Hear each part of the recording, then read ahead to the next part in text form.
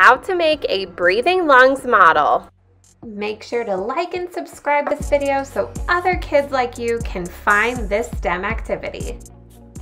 Grab two bendy straws and tape together. Bend the drinking part out so that they form the letter L.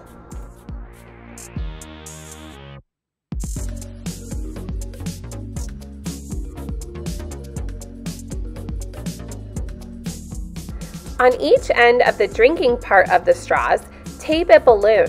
Make sure air can get into each balloon and not out.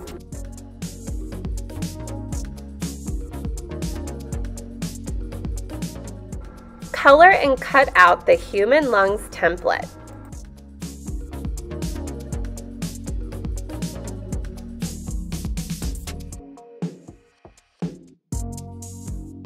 Tape the long part of the straws onto the lungs template where the trachea is.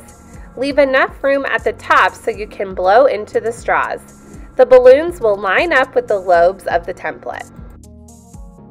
Breathe into both straws and watch the balloons expand and contract.